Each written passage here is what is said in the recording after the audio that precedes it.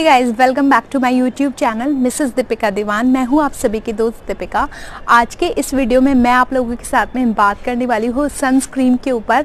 वैसे तो सनस्क्रीन के ऊपर मैंने ऑलरेडी एक वीडियो पोस्ट किया हुआ है। अगर आप लोगों ने वो भी नहीं देखा है तो आप जाइए प्ले में देख सकते हैं या डिस्क्रिप्शन बॉक्स में देख लीजिए या आई बटन पर क्लिक करके देख सकते हैं। और मैं आज आप लोगों को बताने वाली हूँ जो सनस्क्रीन होती है, वो किसे यूज़ करना चाहिए, किसे नहीं करना चाहिए, कब करना चाहिए, कैसे करना चाहिए या यूज़ करना भी चाहिए कि नहीं करना चाहिए। तो बेसिकली आज आप लोगों के साथ में बैक टू बैक सारे जो पॉइंट्स हैं सनस्क्रीन के ऊपर, वो मैं आप लोगों के साथ में शेयर करूँगी। हाल फ़िलहाल मैं आप लोगों को बता दूँ, अभी मैं छत पर आई हुई हूँ वीडियो शूट कर रही हूँ धूप में और एक बजे, दो बजे का टाइम होगा और मैंने बिल्कुल भी सनस्क्रीन अपने स्किन पर नहीं लगा रखी है। इवन मैंने सिर्फ़ और सिर्फ़ गाय का घी लगाया हुआ है अपने स्किन पे और कुछ भी मेरे स्किन पे नहीं है नो मेकअप आप देख सकते हैं। और मैं आप लोगों को सिर्फ़ और सिर्फ़ ये वीडियो यहाँ पर धूप में शूट करने का सिर्फ़ यही रीज़न था कि आप लोगों को रियलिटी बता पाऊँ सनस्क्रीन के ऊपर क्या है, जो क्रीम्स हम लोग मार्केट की लगाते हैं, उनसे क्या साइड इफ़ेक्ट्स होते हैं और क्या हमें यूज़ करना चाहिए कि नहीं? तो सबसे पहले आप लोगों को एक पॉइंट तो क्लियर हो गया होगा, जब मैंने सनस्क्रीन नहीं लगाई है, इतनी धूप में आने के बावजूद भी, एक से दो बजे की धूप में भी मैं सनस्क्रीन ऊपर छत पर नहीं लगा के आई हूँ तो इससे एक पॉइंट तो क्लियर है कि हमें सनस्क्रीन यूज़ नहीं करना चाहिए। बट क्या होता है, अब देखिए, पहले के आप अपनी मम्मी डैडी को देखिए, वो कभी भी उन्होंने सनस्क्रीन सुना ही नहीं होगा, ना वो लोग लगाते ही नहीं थे। मैं इवन मेरे दादी को, मम्मा को, किसी को भी पूछती हूँ कि सनस्क्रीन वो बोलते हैं, ये क्या होता है? हमें तो पता ही नहीं है, ये क्या होता है? कोई भी नहीं जानता इवन क्रीम्स नहीं जानते हैं। बॉडी लोशंस ये क्या होता है? हमें तो नहीं पता, बेटा, हम तो तेल लगा लेते थे या छाछ में जो मक्खन बनता था, उसी को लगा लेते थे। मैंने मेरी दादी से क्वेश्चन किया, आपके वहाँ उस टाइम पर क्रीम्स होती थी? वो बोलते थे, होती थी पॉन्ड्स होती थी, एक फेयर एंड लवली आई थी। लेकिन ये क्या है, बहुत पुरानी कंपनियाँ थी और होती तो थी, लेकिन हमारे पास इतने पैसे नहीं होते थे इनको ख़रीदने के लिए तो हम तो नॉर्मल घी या तेल लगा लेते थे, सरसों का जो मिलता था। बट उनकी स्किन देखिए कितनी हेल्दी है। शायद हम लोगों से ज़्यादा हेल्दी उन लोगों की स्किन होती है। तो वो ऐसा क्या होता था कि वो लोग ऐसा करते क्या थे? ना वो लोग फेस पैक लगाते, क्योंकि सारा तो किचन में लगे रहते थे, चक्की पीसते थे मसाले पीसना कितना काम होता था उन लोगों के पास में। तो बेसिकली ना जो उनकी स्किन का हेल्दी रहने के पीछे ही यही रीज़न था कि वो कोई भी केमिकल केमिकल इवन कोई मार्केट की कोई फेस पैक कोई क्रीम्स नहीं लगाते थे यही रीज़न था कि वो आज इतने हेल्दी हैं, उनकी स्किन इतनी हेल्दी है। उनकी जो लाइफ होती है, वो नाइन्टीज़ मतलब नब्बे नब्बे, आप लोगों को कॉमन है ये तो सुना होगा। ये आंटी थी, नब्बे साल की, अभी तक डेथ नहीं हुई। इतनी इतनी एज कैसे? बट उनकी स्किन देखो क्या चमकती है बेबी तो देखिए, उनके पीछे रीज़न था, जितने भी आजकल हम लोग झाग बनने वाले, जितने भी फेस पैक्स लगाते हैं, या सॉरी फेस वॉशेज़ लगाते हैं सोप्स लगाते हैं, वो क्या करते हैं, हमारी बॉडी का जितना भी मॉइस्चर है, एक तो हम लोग ऑयल मसाज भूल गए हैं। अगर आप प्रॉपर तरीके से अपने स्किन पे, अपने पूरे बॉडी पे ओवरऑल अपने हेयर्स पे ऑयल मसाज करते हैं तो आपकी बॉडी में जो मॉइस्चर कंटेंट है, वो एकदम लॉक रहता है। फिर वो आपकी बॉडी से जाएगा नहीं, आपकी बॉडी में एकदम चमक बनी रहेगी। अगर आप ऑयल मसाज भी नहीं करते प्लस रोज़ रोज़ रोज़ रोज़ अपने फेस को वॉशेस करते रहते हैं नए नए तरीके के फेस वॉश से तो यकीन मानिए आप बिल्कुल आपकी स्किन में कहीं जो वो चमक होती है ना, वो खो बैठोगे और एकदम ड्राई सी पैची सी और डल सी स्किन रहेगी। फिर हम लोगों को, हम देखते हैं नए नए फेशियल ट्राई करते हैं मार्केट में देखते हैं, इतने सारे फेशियल्स आए फिर बोलते हैं, हमारे स्किन पे ना ये पैचेस हो गए, दाने हो गए। अब हम लोगों को शायद हम, फिर पार्लर वाली है या कोई भी और डॉक्टर्स होते हैं जो मेडिकल साइंस को फॉलो करते हैं उन, वो लोग बोलते हैं कि आपने सन सन में गए सन का ज़्यादा एक्सपोजर हो गया और आपकी स्किन इतनी डल हो गई बेजान हो गई। तो सारा का सारा जो ब्लेम होता है ना, वो डाल देते हैं सन पे। बेचारे जो चंदा मामा और सूरज मामा को तो हम भूल गए, सिर्फ़ उनको ब्लेम करते रहते हैं और कुछ भी नहीं करते। तो बेसिकली आज मैं आप लोगों को बताती हूँ अगर आप किसी भी तरह की स्किन प्रॉब्लम से जूझ रहे हैं ना तो सूरज और चंद्रमा आपके बेस्ट फ्रेंड्स हैं। आप 15 मिनट मॉर्निंग में सूरज की रोशनी लीजिए। जब मॉर्निंग में सूरज उदय होता है तो उससे उसके लिए आप लोगों को क्या करना पड़ेगा? थोड़ी जल्दी उठना पड़ेगा। साढ़े छः से सात के, साढ़े सात तक भी अगर आप लोग ये एक घंटा होता है, आप पंद्रह मिनट, सिर्फ़ और सिर्फ़ पंद्रह मिनट आप छत पे जाइए। जहाँ भी आपके घर में सीधी रोशनी आपकी बॉडी पे पड़ती है, आपकी सच मानिए, यकीन मानिए, कोई भी स्किन प्रॉब्लम होगी, वो बिल्कुल ऐसी कोई प्रॉब्लम नहीं होती जो ठीक ना हो। इवन कोई फंगल इन्फेक्शन हो, आपके हेयर से रिलेटेड कोई भी इशू है, आप मॉर्निंग में एक बार धूप लेना स्टार्ट कीजिए पंद्रह मिनट की, सिर्फ़ और सिर्फ़ पंद्रह मिनट की। इससे ज़्यादा आप मत लीजिए। और ब्लैक कपड़े ना पहन के जाइए। मतलब जैसे डार्क जो शेड्स होते हैं, वो ज़्यादा ना पहने। और ट्राई करें कि जब भी मॉर्निंग में उठ के जाएँ सूरज में तो ज़्यादा लूज़ कपड़े हो कॉटन हो तो बेस्ट होगा, क्योंकि उसमें एयर्स जो हैं, वो आपकी बॉडी पे सीधा आती हैं और उस टाइम पे ये नहीं कि सूरज के ऊपर जा रहे हैं और धूप लेने तो जा रहे हैं प्लस हम लोगों ने बहुत सारी सनस्क्रीन लगा रखी है, या फिर हम लोगों ने बहुत ज़्यादा मेकअप करके ऊपर जा रहे हैं कि हाँ धूप है, धूप लेने जा रहे हैं तो सनस्क्रीन लगा लो, उसको नहीं कहते हैं धूप लेना। ठीक है? उससे क्या होगा, आपकी बॉडी में जो विटामिन डी की डेफिशिएंसी है, वो भी धीरे धीरे रिकवर होगी और बहुत सारे इश्यूज़ हैं जो धीरे धीरे ठीक होंगे। और अगर आपको आइज़ डेफिशिएंसी है ना तो भी वो जो लाइट सनलाइट होती है मॉर्निंग में, जैसे ही हम लोग उठते हैं, उसे निहारना शुरू करें, सूरज को देखना शुरू करें। आपकी जो आई साइट है, वो भी ठीक होगी धीरे धीरे अब ये तो हो गई मॉर्निंग की बात। अब नेक्स्ट हम लोग आते हैं नाइट की। जैसे ही चंद्रमा उदय होता है ना, चंद्रमा जब उग रहा है या मतलब उग रहा है जब चंद्रमा आ रहा है उस टाइम पे, वो आप पंद्रह मिनट ज़रूर देखिए। स्किन से रिलेटेड प्रॉब्लम्स आपकी चंद्रमा जो है वो सॉर्ट आउट कर देगा।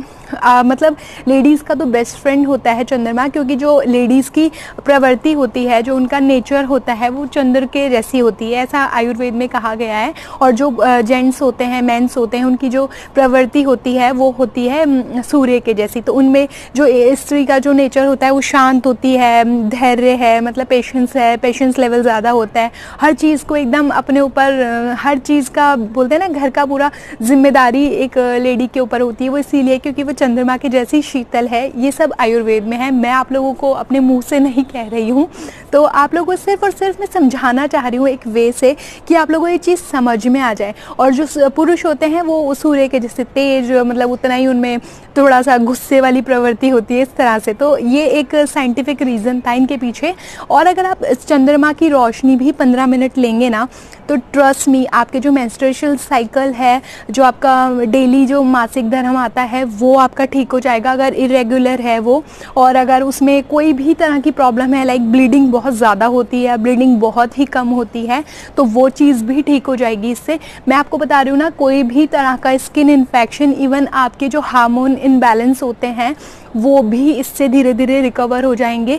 क्योंकि देखिए स्किन प्रॉब्लम्स होनी शुरू होती है जब हार्मोन्स जो आपके होते हैं, वो इनबैलेंस होते हैं बैलेंस नहीं है तो हमारे स्किन पे तरह तरह की प्रॉब्लम्स नज़र आती है। हमारे फेस पे बाल आ जाते हैं, हमारे बहुत अलग अलग तरीके से जैसे पैचेस आ गए फेस पे ड्राइनेस हो गई है, बहुत सारी स्किन से रिलेटेड प्रॉब्लम्स हो गई हैं, वो आपको चंद्रमा की रोशनी से ठीक हो जाएगी आपकी। तो आप 15 मिनट मॉर्निंग में सूर्य की रोशनी 15 मिनट नाइट में चंद्रमा की रोशनी लेना शुरू कीजिए। और फिर क्या बात होती है? मैं बात कर रही थी आप लोगों से सनस्क्रीन के ऊपर। तो प्लीज़ फिर है ना आप लोगों को, अब जैसे आप ऑफ़िस जा रहे हैं तो ऑफ़िस सनस्क्रीन कैसी होनी चाहिए आपकी? वैसे तो बेसिकली मैं आप लोगों को कहूँगी सनस्क्रीन यूज़ ही ना करिए। अगर आप ये जो दो काम करते हैं ना तो बिल्कुल आपको ज़रूरत नहीं पड़ेगी किसी भी सनस्क्रीन को यूज़ करने की ट्रस्ट मी मैं पहले यूज़ करती थी सनस्क्रीन अब मैंने छोड़ दी है। और अगर आपको सनस्क्रीन करना यूज़ कब चाहिए? जैसे मैंने बताया वीडियो के स्टार्टिंग में कि कब करना चाहिए। बहुत एक्सेस वाली हीट होती है, जैसे गर्मियों के दिनों में होती है। जून, जुलाई वाला महीना हो जुलाई में जुलाई वाला, जून वाला जो महीना होता है, बहुत हीट होती है उसके अंदर एक्सेस मतलब आप सनलाइट में जाते हैं आपकी बॉडी पे से बर्निंग सेंसेशन होने वाली होती है। तो वो टाइम होता है सनस्क्रीन प्रॉपर तरीके से यूज़ करने का। ये वाला टाइम नहीं होता है। इस टाइम इस टाइम पे तो माइल्ड होता है। मतलब अभी मैं छत पे आई हूँ फुल स्लीव्स के कपड़े पहने हैं मैंने। आप अपनी बॉडी को ढक के रखें नेचुरली ढक के रखें। जैसे मैंने अभी फुल स्लीव्स क्लोथ्स पहने हैं तो टैनिंग नहीं होगी। और ठीक है थोड़ी बहुत हो, हो भी जाती है तो आप डेली उपटन लगाइए अपने चेहरे पर हल्दी अगर आप अपने उपटन में डालकर लगाते हैं तो हल्दी जो होती है ना, वो नेचुरल टेन को रिमूव करती है। नेचुरल सन बर्न हो गया है आपका, उसको रिमूव कर देगी। आपको कहीं कोई प्रॉब्लम नहीं होगी फिर सन से।